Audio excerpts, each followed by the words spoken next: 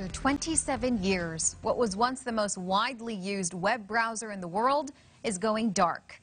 Microsoft retired its oldest browser, Internet Explorer, today, replacing it with Microsoft Edge. Internet Explorer was launched in 1995. In the early 2000s, it was the most popular web browser before its user base started to decline.